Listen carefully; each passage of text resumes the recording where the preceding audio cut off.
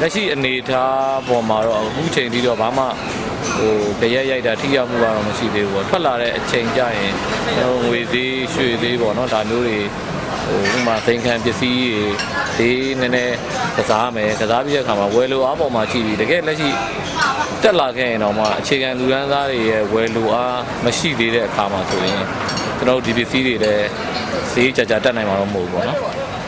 ဟိုငကိုဈေးအတိုင်းပဲပြန်ဆင်းသွားမယ်လို့ပဲကျွန်တော်ယူဆတယ်အဲ့ဒီအတွက်ကြောင့်ဒီတစ်တောင်းတန်ကလည်းတိတ်ပြီးတော့ကြရက်ရိုက်ဖို့ရအခုလက်တလောအနေထားနဲ့ကျွန်တော်အမြင်ပြောရရင်တော့ရှိနိုင်မှာမဟုတ်ဘူးလို့ကျွန်တော်ယူဆပါတယ်